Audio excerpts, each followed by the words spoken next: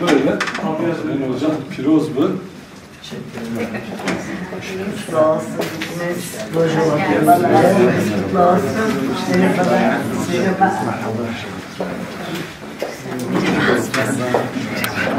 Tamam. Merhaba.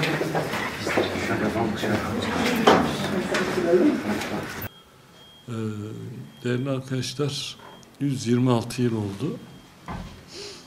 Ee, çok büyük bedeller ödendi.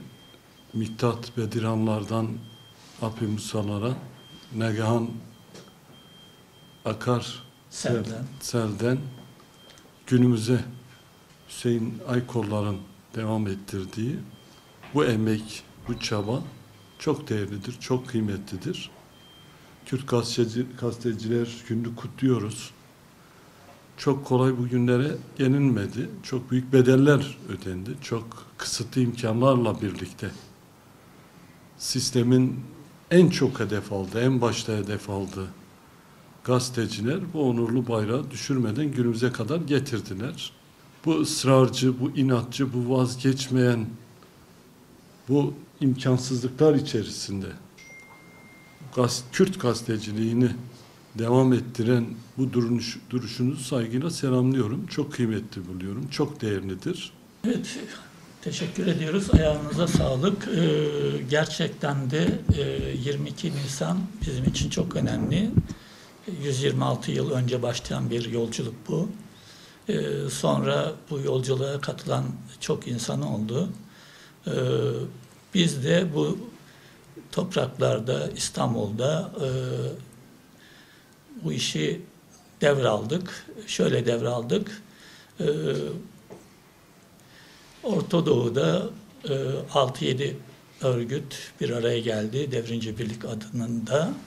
Yani birlikte mücadele etmek adında. Bunun da işte legal bir parti, e, legal bir yayın organı olması gerektiğini konusunda anlaştık.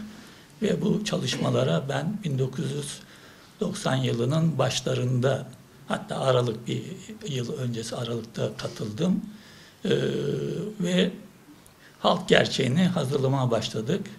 Ee, hazırlıklar çok yoğundu, bayağı uğraşmamız gerekiyordu Ee, ve e, tam e, çıkaracağımız günlerde o zamanlar biz SS kararnamesi dediğimiz sansür, sürgün kararnamesi dediğimiz bir kararname çıktı ve e, matbaalara dendi ki eğer toplatılan bir dergiyi, yayını, gazeteyi basarsanız matbaanıza el konulabilir. E, o neden hatta sürgünler de başlamıştı. E, sevgili Zübeyir Aydar e, ve eşi e, Kürdistan'dan sürgün edilmişti.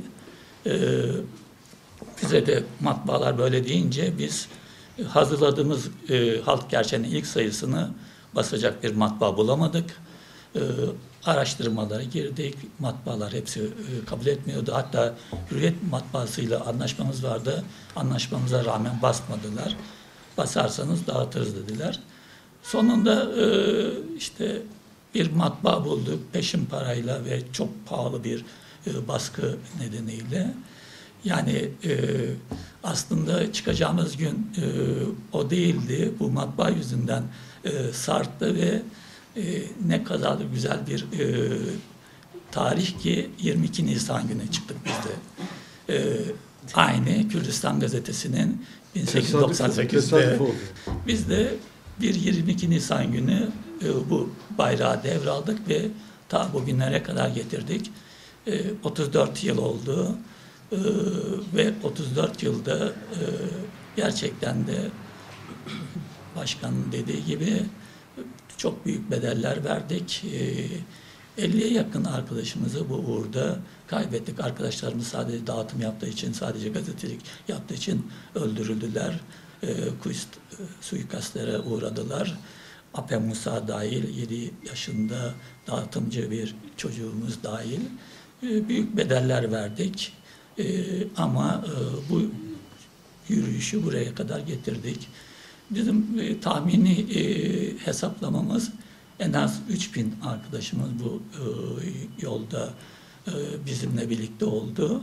E, ve bu 3000 arkadaşımızın e, bir kısmını e, işte şehit verdiğimiz gibi bir kısmı Avrupa sürgüne gitmek zorunda kaldı. Pek çoğu ama pek çoğu cezaevlerinde yatmak zorunda kaldı. Böyle bir süreçten geldik. E, Bu gerçekten e, büyük bir özverinin ama büyük bir kolektivitenin e, sonucudur.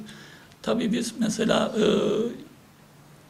üzülmez mi insan üzülüyor ama e, şehit arkadaşlarımız için, cezaevine giren arkadaşlarımız için e, şunu yüksünmedik, hep bizi bedel ödüyoruz, bu nedir falan demedik. Çünkü biz halkın e, gazetecileriyiz. Halkımızın başına, halklarımızın başına neler geldiyse aynısı bize de geldi. Ama bunu bize yıldırmak için yaptılar. Biz yılmadık, devam ediyoruz.